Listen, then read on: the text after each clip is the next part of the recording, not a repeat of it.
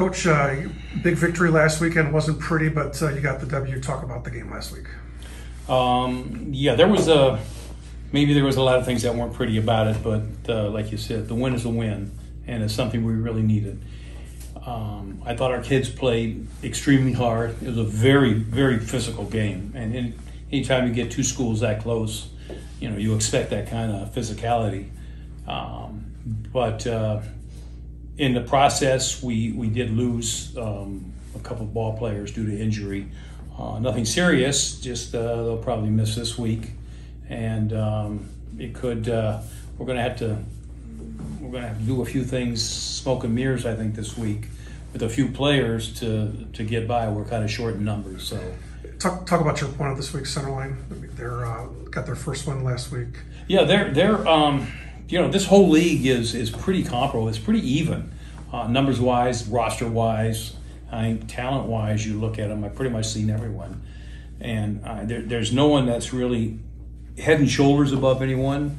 But the problem with that is on any given Friday, um, someone's hot, someone's having a good a good game that could change the the whole outlook of the game. So all we can do is prepare just fundamentally for basically what they do and hope we go out and, and execute.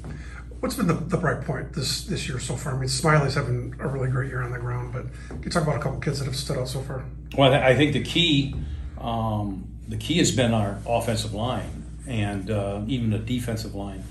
I know when I got here, it was the big question mark was you know well we don't have any linemen, they're all young, they're this and that, and fortunately I was able to bring Mark Shue um, along, who had been my coach. Um, excuse me, Mark Shea, who had been my coach for. Uh, at Loyola for years and years, and be, prior to that, he was a head coach at Cabrini.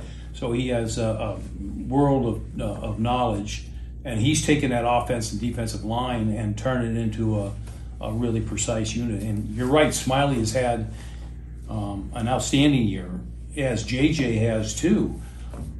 But without that line, um, eh, there wouldn't be much there. So they they kind of complement each other. Okay, well, good luck this week. I appreciate it. Thank you.